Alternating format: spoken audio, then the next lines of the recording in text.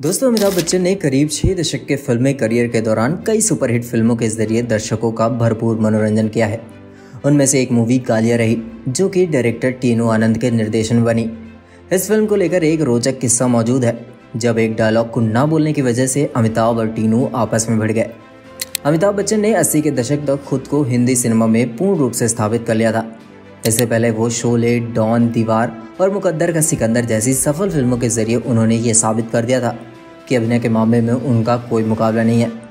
अपने करियर में एक से बढ़कर एक सफल फ़िल्में करने वाले बिग बी की फ़िल्म कालिया को उनकी हिट मूवीज़ की लिस्ट से बाहर नहीं रखा जा सकता। साल उन्नीस सौ इक्यासी में टीनू आनंद के निर्देशन में बनी फ़िल्म कालिया को बड़े पर्दे पर रिलीज़ किया गया। अमिताभ बच्चन, परवीन भाभी, प्राण, कादर खान और अमजद खान जैसे कलाकार इस फ़िल्म का हिस्सा थे। एक तरफ़ अमिताभ बच्चन, कालिया के समय तक खुद का बॉलीवुड में खास मुकाम बना चुके थे, और दूसरी तरफ़ टीनू आनंद बतौर डायरेक्टर पहली फ़िल्म बना रहे थे। एक इंटरव्यू में टीनू ने इस पूरे मामले को लेकर खुलकर बात की है।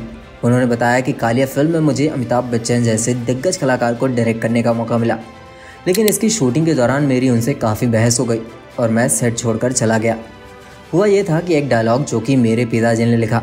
फ़िल्म के सीन के हिसाब से वो एकदम सटीक संवाद था। उस सीन के लिए सेट पर सारी तैयारियाँ हो गई।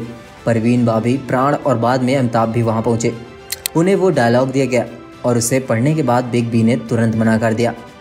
अपनी बात को जारी रखते हुए टीनू आनंद ने कहा, मैंने अमिताभ बच्चन से पूछा कि आप इसे क्यों नहीं बोलना चाहते? वो बोले कि मुझे अच्छा नहीं लगा, इसलिए मैं इसे नहीं बोलना चाहता। शायद उस दिन उनका थोड़ा मूड खराब था। मैं भी अपनी ज़िद पर अड़ा हुआ था और कहा कि आपको ये संवाद तो बोलना ही होगा। क्योंकि मुझे पता है कि इस डायलॉग और सीन पर सिनेमाघरों में तालियाँ बजने वाली है। अमिताभ बच्चन ने कहा कि पहले फ़िल्म कर रहे हो, तुम्हें कैसे पता कि तालियाँ बजेगी? मैंने उनसे कहा कि अगर ऐसा नहीं हुआ तो मैं अपना हमेशा के लिए करियर छोड़ दूँगा। लेकिन अगर मैं सही साबित हुआ तो आपको ऐसा करना पड़ेगा, अमिताभ। तीनों के इस कॉन्फिडेंस को देखकर बिग भी हैरान रह गए और बाद में वो कालिया के उस डायलॉग को बोलने के लिए राज़ी हो गए। जब फ़िल्म कालिया रिलीज़ हुई तो फैंस को सबसे अधिक प्रभावित फ़िल्म के उसी डायलॉग ने किया, जिसको लेकर टीनू और अमिताभ बच्चन में कहासुनी हो गई। कालिया में एक सीन था, जब इंस्पेक्टर प्राण जेल से भागे कैदी कालिया को पहचान लेते हैं और उनके सामने पिस्तौल तानकर उन्हें गोली मारने कहते हैं। इसके जवाब में अमिताभ का डायलॉग होता है, तू आतिशे दोजक से डराता है, जिन्हें वो आग को पी जाते हैं पानी करके। इस डायलॉग को लेकर बिग बी और टीनू आमने सामने आ गए थे, लेकिन ये फ़िल्म सुपर हिट हो गई।